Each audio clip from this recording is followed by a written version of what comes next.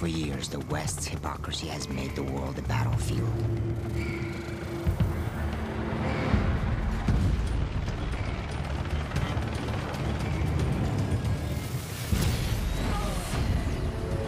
The corrupt talk, while our brothers and sons spill their own blood.